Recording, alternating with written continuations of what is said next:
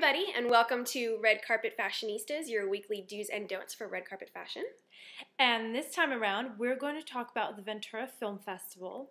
I decided to wear a red knee high dress Beautiful, that beautiful. really was low cut. It was a lot of fun in that dress. Let me tell you, when you wear a red Why? dress, when you wear red, immediately there are men and women that look at you. Mm, I got a lot of attention because I wore that dress. yeah. It was also a red carpet, so I kind of matched the the decor, which is something that actually I've never done. I've never worn a red dress on a red carpet. Yeah, would you say that's a fashion faux pas? I mean, I've heard people say don't wear red on red, like, you know. No, but you know what? It worked really well. I didn't hear anything bad, No bad comments. no bad comments. hmm I just enjoyed the night. That night, I actually met Russ Tamblyn and George Chakiris because the Ventura Film Festival was having a West Side Story reunion. Mhm. And the first night, which was the red carpet, the the cast of West Side Story was there, and it was a very exciting, exciting time because West Side Story is one of my favorite musicals. Oh, I'm so happy for you. Well, thank you. Yeah, it was, it was like it was like your trip back to memory lane. It was, it was, but they were there. It, it was a glorious evening. Cool. It was, Good. it was glorious. Cool.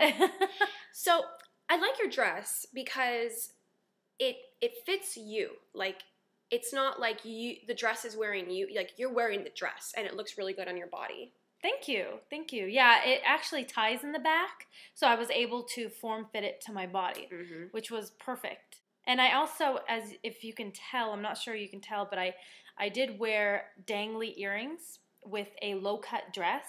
As you can see, I'm wearing dangly earrings today, and it's a low cut dress, and they work together very well, I think. Mm-hmm. Yeah, definitely. In this picture, I'm actually with the creator of the Ventura Film Festival, so he was able to take a picture with me on the red carpet. He's a very, very nice guy. Cool. So my tip of the day is the outfit that Gilda wore in red looked fabulous on her skin. But be wary because there are different types of reds. There's orange reds and blue reds.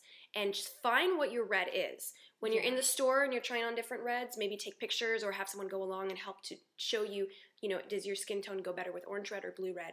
And that will be a big, big thing, especially if you do end up going on a red carpet with that outfit. Mhm. Um, you want to make sure you look really good in that red.